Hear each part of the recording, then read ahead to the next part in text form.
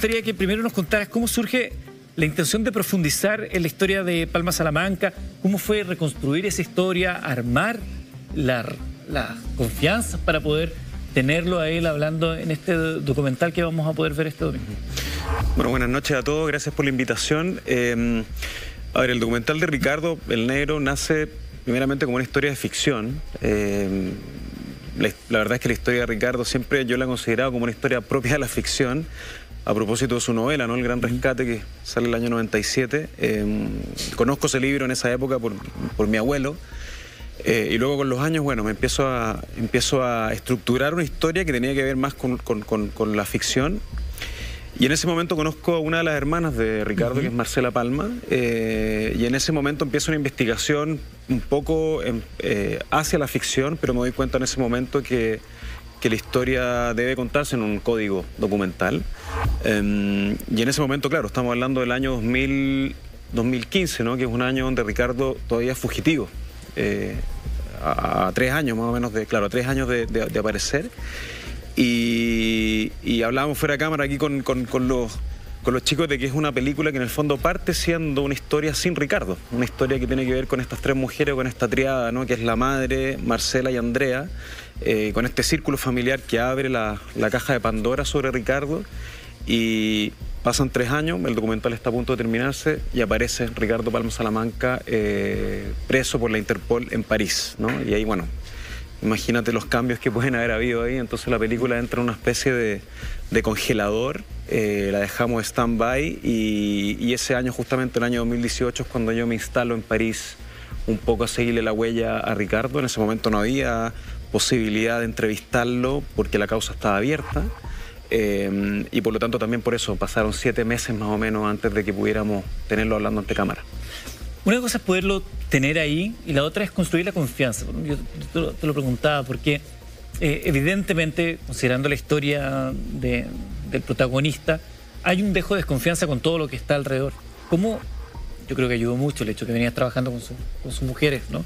¿Cómo, ¿Cómo fue ese encuentro con él y de hacer, hacerlo sentir que tú tenías ganas de contar su historia desde una perspectiva que para él fuera eh, razonable de, tener. Bueno, sumamente difícil. Yo creo que también una labor del documental eh, eh, más de investigación o periodístico tiene mucho que ver con involucrarte o involucrarse con el personaje. hubo muchísimas horas de conversación con Ricardo fuera de cámara, muchas conversaciones que me habría encantado tener una cámara o un micrófono. Eh, cosa que no era posible. Y, mm, y, sí, sin duda, sin duda la relación con, con, Mirna, con Andrea y Marcela, que aprovecho también de saludarlas porque fueron parte muy importante de la película, eh, fue fundamental para, para, generar esa confianza. Em, y también yo creo que, bueno, en algún momento también Ricardo vio algunos avances de esa película, eh, lo que a él le provocó cierta confianza, cierta, cierta tranquilidad un poco, ¿no? En, en, saber de que era un documental que no ahondaba tanto en la historia oficial de lo que era su vida y su acción, sino que tenía que ver más con un aspecto familiar o, de, establecer ciertos criterios em, más sobre su desaparición o sobre su protección a la vida, su, protección a la familia, a sus hijos.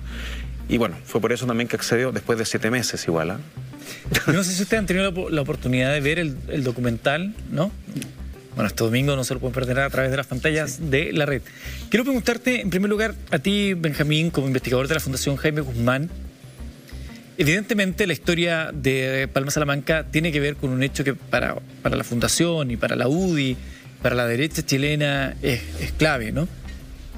A juicio de ustedes, ¿qué representa Palma Salamanca y el Frente Patriótico Manuel Rodríguez en la historia reciente de Chile?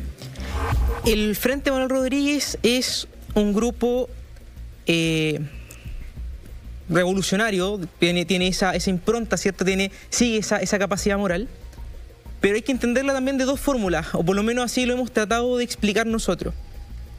Pueden iniciar con un sueño, eh, con una causa, pero ciertamente con el tiempo las cosas han demostrado que no, son lo que ellos decían ser, digamos.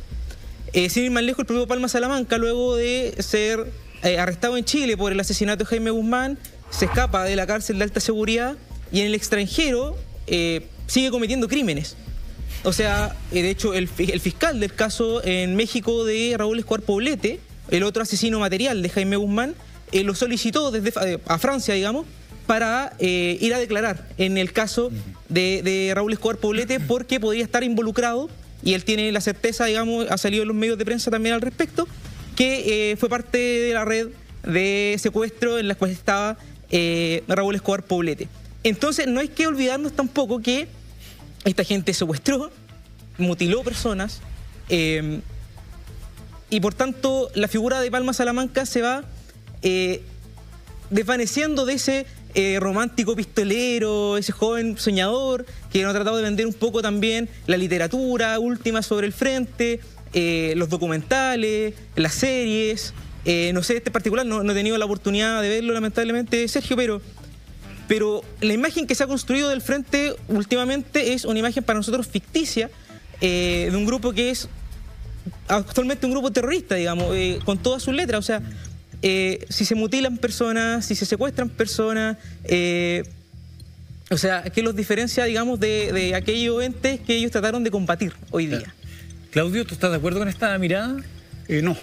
Eh, primero porque, es decir, en, en función de la, de la pregunta última, es decir, de lo más específico, eh, eh, no está procesado Palma Salamanca, no, no, no hay algo que se pueda comprobar, por lo tanto, creo que no podemos hablar de eso, si hay- no hay algo que está comprobado. Y, y por lo tanto, eh, explicar un fenómeno histórico a partir de algo que no, no, no- no tenemos el dato certero o la información clara, creo que ya es como pensar de la buena o la mala voluntad de, de los actores.